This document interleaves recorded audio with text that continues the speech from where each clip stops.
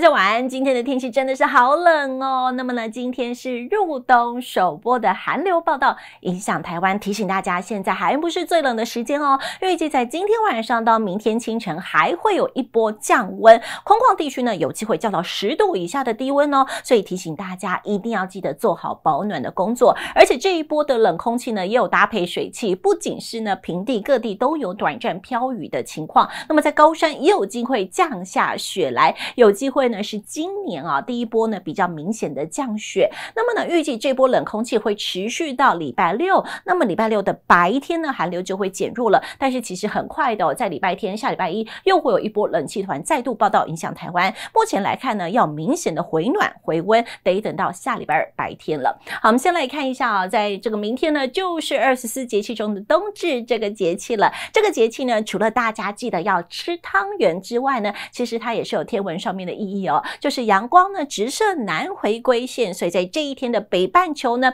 会是夜晚最长的一天。过了冬至之后呢，白天的长度就会逐渐的增长了。那么在冬至这一天呢，相信大家都会记得要吃汤圆，除了象征圆满之外，也代表长大了一岁哦。所以今天呢，大家不妨来准备来个汤圆当做甜汤吧。好，那么在接下来的天气呢，可以说啊，可以看到在今天主要呢就是受到寒流南下的影响，搭配水汽哦，全台各地都是阴沉沉的，很多地方还飘起了短暂阵雨。高山呢，预计在今天晚上、明天也有机会降下雪来。预计啊，这一波的冷空气真的是来势汹汹，会一直持续影响台湾到礼拜六的清晨，要得等到礼拜六白天才会略微的回温。不过很快的呢，在礼拜天又会有一波新的冷空气呢，即将要报道影响台湾。预计呢，这一波冷空气强度也是有到达这个冷气团的等级的。所以现在来看呢，预计啊，真的要感觉比较温暖，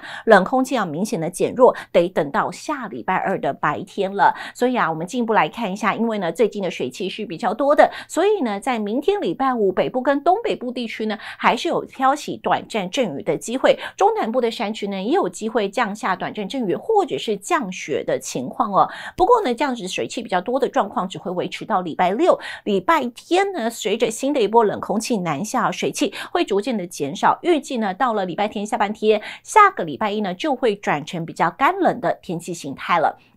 所以来看一下降雨的部分，可以看到接下来礼拜五、礼拜礼拜六呢，一直到礼拜天的上半天，主要呢就会是东北风云风面的北部、东半部地区，还有呢在中南部的山区有机会下起短暂阵雨。那么预计呢，在下礼拜一之后，可以看到水汽会明显的减少，转成干冷的这种天气形态。好，那么紧接着来关心一下温度的变化哦。今年呢，这个这几天呢会是今年首波的寒流影响台湾。什么是寒流呢？就是台北测站有机会测到十。点五度以下的低温，我们就称作它是寒流。所以可以看到呢，在北部地区，预计今天晚上到明天的有机会出现九度左右的低温，空旷地区有机会温度还会再往下探一点点。那么高温呢，也只有十二度到十三度左右哦。预计呢，礼拜六、礼拜天虽然说啊，这个冷空气的强度略微的减弱一点，但是可以看到低温依旧是只有十二度到十三度左右，高温呢也只有十六度到十七度，再加上呢水汽比较多，感受上面还是。比较寒冷一些些，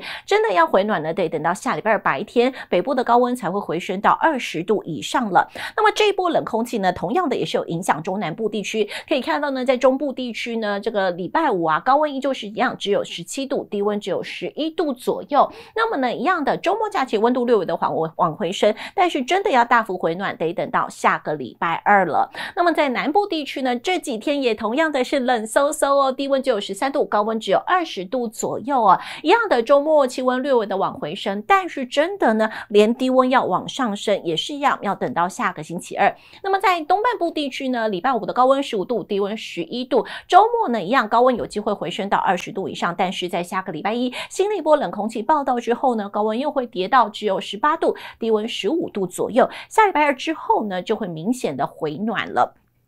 好，所以来看一下今天晚上到明天清晨以及明天白天呢，就是受到了寒流南下的影响哦，在中部以北、东半部地区都有机会出现十度以下的低温。那么在中南部地区啊，其实低温也只有十度到十三四度而已。全台各地在明天还是冷飕飕，大家外出要记得注意保暖了。那么北部跟东部地区呢，依然是会有一些迎风面的降雨，外出也要记得携带雨具。以上就是今天的播报，我们下次见。